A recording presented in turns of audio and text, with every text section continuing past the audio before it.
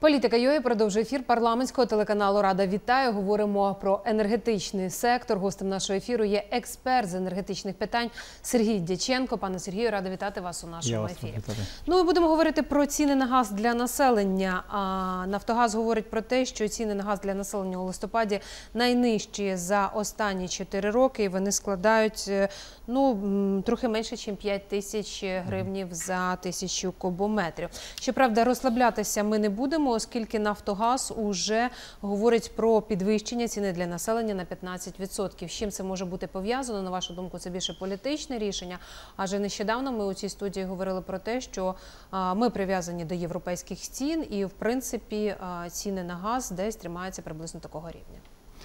Ну, можливо, ці розмови пов'язані з тим, що е, ну, ну, є підстави е, очікувати, що все ж таки буде е, криза з Газпромом. Тобто, принаймні, останні новини, ну, в принципі, їх можна сприймати такі дії, ну, скажімо, елементи саботажу переговорного процесу на експертному рівні, на яке жаліється Нафтогаз. Я, в принципі, в 2009 році, е, коли в НАК Нафтогаз працював, там подібні ексцеси були, коли готували нову угоду, і Росія зайняла абсолютно деструктивну позицію, ну, російська сторона. І от схоже, що й зараз, ну, як, як розказує Коболєв, це приблизно те саме відбувається. І е, друге, що обмежили доступ е, українським представникам до пунктів заміру газу. Тобто вони з російської сторони, у нас нема своїх і е, газо- газовимірювальних станцій. І е, в, в принципі, то знову ж таки знак Нафтогаз, інформація, що перестали наших представників допускати до процесу заміру. Тобто ми фактично е, не маємо можливості достовірну інформацію отримати, скільки газу заходить. Через українську трубу да, в Європу. Да, да, да. Скільки виходить, ми можемо, а скільки заходить без, ну тобто юридично ми зараз не контролюємо цей процес. Тому ці моменти можуть е, вважатися сигналом того, що все ж таки наближається е, криза непідписання транзитної угоди. Як ця криза може позначитися на нас? Адже дивіться, і Європа закачала газ е, в свої сховища підземні, і Україна має газ у підземних сховищах. Тобто, ну всі говорять енергетики про те, що ми безболісно можемо пройти по суті цю зиму. Ну, зиму можемо, а далі ну, сховища ж там багато газу, але ж не, не, не скінчать. Але і Росія при цьому втрачає. Втрачає суттєві гроші. Дивіться, в мене є такі показники, що тоді, коли Росія нас шантажувала зимою в 2014-2015 роках, Газпром втратив понад 5 мільярдів доларів. Там же ж не тривалий період все це відбувалося. Е, Зараз, е, як за декілька місяців, Газпром втратить набагато більше за зимові місяці, якщо не буде постачати газ до Європи. Е, Тому, а якщо ця криза продовжиться, ну так як ми кажемо, що Газпром так і не, від, не, під, не підпише і не відновить постачання на більш тривалий, там набагато більші збитки будуть. І Європа ж кінець кінцем все це е, е, остогидне, і тоді ніякі е, транз, е, північні потоки не допоможуть е, уберегтися від того, що Європа таки візьме е, курс на реальну диверсифікацію і зменшення присутності російського газу на своєму ринку. Тоді Так вони що- можуть програти остаточно. Е, Так, Росія. так що я е, не думаю, все ж таки сподіваюся, що ті дії, які зараз відбуваються, це тиск, ну е, з метою досягти сво- своєї позиції з принципових питань. І е, якщо так- такі криза буде, то вона буде нетривала, тому що Газпром надто багато втрачає. Хоча е, Росія через агресію е, е, щодо України вже втратила набагато більше суми. Я, е, тут логіка економічна не працює. Дивіться, ви говорите про диверсифікацію а, російського газу, от, що стосується Європи, да, з інших джерел. От які перспективи а, все ж таки а, закупівлі американського скрапленого газу? Ну, перспективи є. Е, Поляки будують термінал, німці будують, е, збираються будувати. От Я не знаю, почали, не почали, у мене інформації не було. Тобто процес іде, е, які обсяги поки не зрозумілі, не зрозуміло, і цінові показники теж е, Ну, цінові різні. показники він залишається дорожчим. Е, Так, із він, е, ну, звичайно. Треба подивитися, оскільки Е, Це все буде залежати від обсягів. Чим більше обсяги, тим нижча ціна. Це та- завжди так. Це стосується Європи, а то Україні, як виходити з цієї В ситуації? Україні ж е, поки, поки що мова про наш термінал не йде, оскільки е, ну, всі, е, цей, цей газ американський однозначно треба буде вирішувати про- проблему про, про, протоків, ну, Босфор. е, І, а це проблема дуже важка. Ну, вже намагалися перемовини. В принципі, якби в Скаспі обрати, ну, мова йде про все ж таки про інший напрямок. І е, перспективи нашого терміналу з цієї точки зору незрозумілі. А брати з польського, ну можна, ну там поки що там десь до півтора мільярди, ну при нинішніх обсягах. Там після збільшення можна буде до чотирьох. Воно повноцінно не вирішить наші, наші проблеми з е, імпортом. Е, Тому, І ми самі не зможемо з власним газом забе- себе забезпечувати на Е, найближчі ну, роки. Теоретично можемо, але ж бачите, цього року останні дек- е, півроку говорять про те, що падіння почалося. З такими тарифами наші видобувні компанії не можуть впоратися навіть з падінням обсягів видобутку. Тобто це теж перспектива така. Хоча, якщо належним чином взятися до справи, то е, звичайно можна це питання вирішити, але тут багато від чого буде залежати, в тому числі від е, політики ліцензійної, оскільки ліцензії поки видаються суб'єктам, які ну, от Укргазвидобування жалілося дуже довго, що взагалі їм перестали видавати ліцензії, видавали структурам, які ще й не розпочали роботу. Через це от такі моменти і відбуваються. А, дивіться, у нас сьогодні триває період створення незалежного оператора, і вже найближчим часом питання стоїть про отримання певного сертифікату для а, цієї інституції. От, власне, а, цей незалежний оператор сьогодні одна з умов е, підписання договору на транзит, подальший транзит на 10 років. Власне, Україна свої зобов'язання виконує. Хочеться сподіватися, що найближчим часом все ж таки відбудеться знову ця тристороння зустріч між Нафтогазом, Газпромом, навіть не Нафтогазом, а вже незалежним оператором і Європейською комісією щодо подальших перспектив укладання відповідного договору. Та ці умови там ми виконаємо. Ми не виконуємо явно іншу вимогу Газпрома відмовитись від результатів судових розглядів. Тобто Газпром і власне Кремль наполягає обновити, обнулити, Обнулити власне, да, результати, відмовитись і працювати вже в рамках нових угод. Е, ну, розумієте, ця, е, ця вимога вона виглядає суто політично. Ну, розумієте, якби так сказати, вони говорили про можливість включення цієї суми. Якимсь чином в, тр- в транзит, ну вартість транзиту там чи ще щось. Ну якось по- по- Тобто але- певні знижки да, А, на, оці, ну, на цю суму, яку навпаки, вони... під на- надбавки за рахунок для того, щоб ну, він, тобто, якби це на все сьогодні це вже 3 Е, мільярда. розумієте, це доларів. ну абсолютно очевидно мова йде про непрозорі моменти. Ну, судове рішення це публічний розгляд. Е, значить, е, відповідна інстанція приймає рішення. А тут на двосторонніх перемовинах завжди є, скажімо, якісь е, можливості тіньових домовленостей. І е, ну, це, скажімо так, е, неприйнятно. Я думаю, що Україна на це не піде. От, власне, ми говоримо про шантаж з боку Росії. Він е, залежить власне і від того е, від цього обнулення, да, е, рішення стокгольмського арбітражу цих трьох мільйонів доларів. Чи е, буде впливати питання пов'язане з північним потоком? 2 можливо, Росія досі затягує процес, адже поки що невизначеним питання залишається. Данія, начебто, і дала свій дозвіл, да, але є ще час подати судовий позов, якщо не від України, то від інших країн, з тих же Прибалтійських або Польщі. Потім Бундестаг має протягнути, спробував уже протягти поправку до відповідного законодавства, щоб захистити будівництво північного потоку. 2 от власне це також може Росія використовувати як певний козир у своїх руках до підписання контракту. Ні, цього козиря в них нема ні в руках, ні в рукаві. Е, Вони до, під, до 1 січня е, працювати не буде.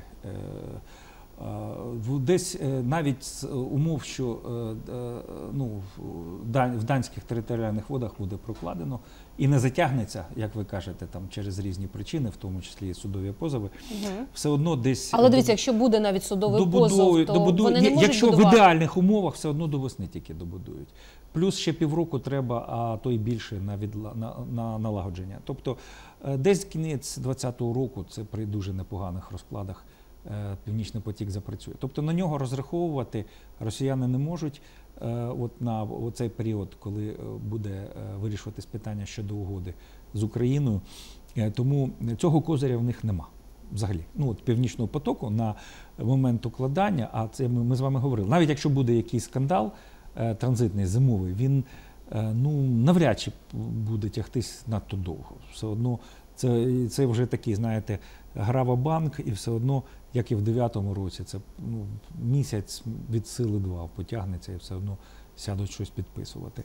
І вже Тобто і... сам, сама Росія буде не зацікавлена в цьому, щоб Ну, надовше для НАТО, я думаю, що ну, такі втрати, ну, якщо вони готові, але ж е, ну, ну, НАТО великі будуть втрати. Е, Тому е, подивимось, але мені так щось здається, що навіть якщо щось і буде щодо обмеження, то ну, не надто довго. Дивіться, е, ми на початку студії зазначили про підвищення ціни на газ для населення на 15%. От, власне, це, скоріш за все, ви кажете, пов'язано да, із е, непідписанням в найближчому часі відповідного транзиту. Українська сторона готується. Разом з тим, е, Україна готова до такого сценарію подій непідписання відповідної угоди. Завдяки успішному випуску єврооблігацій Нафтогаз винайшов додаткові кошти, створив значні запаси газу у підземних сховищах. На сьогодні це 21,7 мільярдів кубометрів. Стосовно підвищення, от власне е, воно і далі ця ціна може зростатиме Е, за таких умов. Ну так, тут, е, скоріш за все, е, мова йде про е, деяке підвищення. Ну, по-перше, сезонне, а по-друге, на очікуваннях е, все ж таки е, кризи газової. Е, Так що європейські майданчики, скоріш за все, спрацювали, і в нас теж е, йде, по-перше, орієнтація на ці моменти, тобто підвищення в Європі, і плюс теж очікування ж є, що необхід- необхідно буде переходити е, на цінову політику е, на газ, який буде реалізовувати зі сховищ. Тобто треба мати на увазі, що сховища це така штука, що за зберігання треба платити чимало. Тому якщо ми будемо працювати, е, ну це там великі обсяги і е, газ зі сховищ, там цей момент треба враховувати. Можливо, можливо, Коболєв говорив про можливе підвищення і з цієї точки зору. Якщо не буде, не буде постачання газу в Україну, то повністю будемо покривати зі сховищ. Це місяці на 3-4 вистачить. І, Тобто там- на зимовий період. Да, на зимовий період. Ну, Я думаю, я ж повторюся, що я думаю, що е, криза вщухне. Ну, всю зиму вона не навіть якщо вона відбудеться, то вона всю зиму не, не продовжиться. Так чи інакше, Україна наполягає на своїй позиції, що підписання контракту має бути здійснене не менше, ніж на 10 років, як це було і раніше. А Росія, скоріш за все, зацікавлена в короткострокових контрактах, оскільки все ж таки розраховує, що ж там буде з Північним потоком 2 Добудують його, зможуть на повну потужність використовувати на 100% чи ні. А от це ж питання е, виключення з е, третього енергетичного пакету. Бо третій енергетичний пакет вимагає 40% там, до 50% тримати в, в резерві для третіх сторін.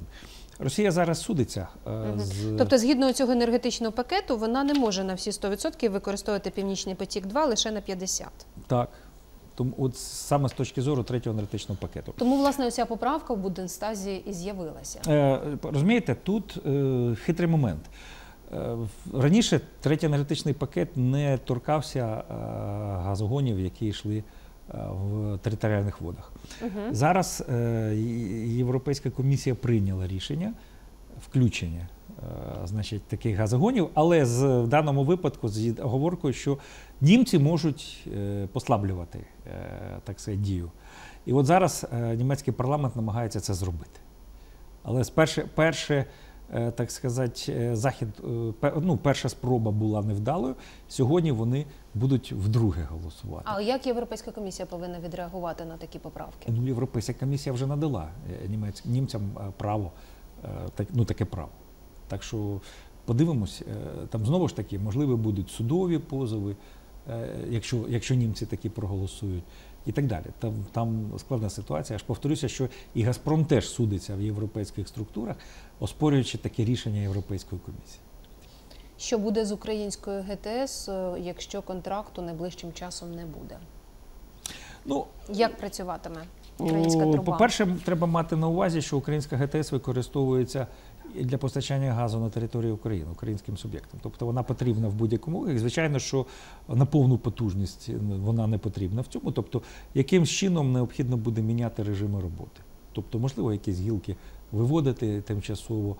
Е, Там ну, представники Нафтогазу говорили, що там можливо використовувати в якихось е, інших е, цілях, там якісь були пропозиції. Подивимось. Я щось мені підказує, що не буде потреби в цьому. Мгм. Тобто, а чи вистачить тиску для того, щоб цей газ підняти з підземних сховищ? Ні, та то вистачить. У 9-му році ж вистачило. Це саме була ситуація. Нульовий транзит, піднімали газ зі сховищ. Тоді, до речі, не набагато менше було, там, здається, 20 мільярдів кубів було. Зараз на, на мільярд більше. Е, На реверс переводили газотранспортну систему і повністю вистачало для постачання газу. Інша справа, повторюся, що ви питаєте, що якщо е, ми втратимо все ж таки транзит, е, ну, втратимо просто. Як такі, да? Як тобто такий, не да. відбудеться взагалі Його, да, от, от, от його не відбудеться. Що робити от в цьому випадку?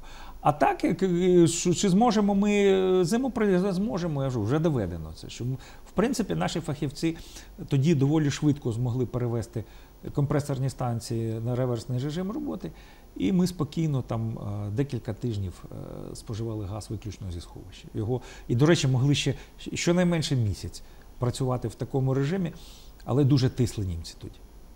Дуже. Там не Газпром з двох боків тисли тоді на уряд і ну, довелося. Ну, цікаво, якою позиція може бути у цьому випадку німців, адже ж ми бачимо, вони абсолютно повністю підтримали Північний потік 2 будівництво його. Подивимося. І знову ж таки, німці нам гарантували зберегти об'єми е, через українську трубу е, російського газу на Європу. От, власне, чи будуть збережені ці об'єми? Наскільки я розумію, нам потрібно зберегти 60% об'єму прокачки. Ну, бажано. бажано. Е, В принципі, 50 це такі, е, е, ну, є технологічний мінімум, це 40-50 називають, ну 40. Угу. 50, там де- деякі називають точку е, самоокупності. Ну, десь 60 це вже було, будуть, е, ми будемо мати економічні результати непогані. Тобто зможемо і е, значить, обслуговувати належним чином газогони, оскільки десь ну, щонайменше 250 мільйонів доларів на рік треба вкладати в поточний ремонт. Ну, щоб ГТС працювала нормально. Ну, бажано більше, ну, якщо щось вкладати в модернізацію. Дивіться, а якщо все ж таки на перспективу вкладати у видобуток власного газу, чи можемо ми себе забезпечувати цим газом і бути абсолютно незалежними як від Європи, так і від е, Росії? Ну, тут треба розібратися, оскільки ті тарифи, які зараз е, на газ діють, вони дають абсолютні можливості вкладати необхідні кошти і років за 10 вирішити цю проблему. Але там е, йде пробуксовування. Ну, наприклад, в минулому році Укргазвидобування мало десь е, мільярд 800 доларів е, на інвестиційну е, інвестиційної складової. І ці гроші не були освоєні. Десь відсотків 30 чи 40 навіть е, були перераховані на Нафтогаз. Тобто ну, просто не змогли освоїти кошти. Ну вони кажуть, що їм не видають спецдозвіл, ну ліцензії. Е, а на старих родовищах вони вже виснажені там неефективно. Ну, вони вкладають кошти, звичайно, але е, там неможливо досягти такого ефекту, як на нових. В принципі, це аргумент. Але ну, є ж нові компанії е, приватні. Е, Ну, вони, вони да, б- е, значить, е, якщо брати у відсотках, вони більш динамічні, але вони не можуть забезпечити, скажімо, такі обсяги, як потрібно. Я повторюся, що, на жаль, є інформація, що почалося і падіння. Все ж таки, вони не можуть впоратися навіть з падінням на старих свердловинах. Тому ну, тут, тут треба, треба щось робити, оскільки е, для нас, з точки зору безпеки, це чи не єдиний вихід е, вирішення проблеми, оскільки е, ну, те, те, що ми постачаємо реверс з Європи, бачите, все одно там, е, де 30% Газпром має обсяги в Європі. е, Ну, ми можемо говорити, що ми беремо не російський газ, оскільки компанії, які е, нам постачають, вони мають баланс сформований з різних ресурсів. Ну, Мгм. чу- наприклад, компанія купила норвежський, катарський та російський газ. А чому ми говоримо, що вона нам російський? А можливо, вона російський сама спожила, а нам, а нам норвезький. Ну, це, це питання, е, ну, скажімо, в таке. Е, Але без, без російського газу, бачите, все одно в балансі не вистачає газу, щоб нам постачати. Тому нам е, все ж таки оптимально вирішити питання шляхом повного забезпечення газом власного виду. Дякую за цікаву розмову. Сергій Дяченко, експерт з енергетичних питань, був гостем нашого ефіру. Дякую вам, глядачі, що були разом з нами. Залишайтесь на парламентському, не примикайтесь.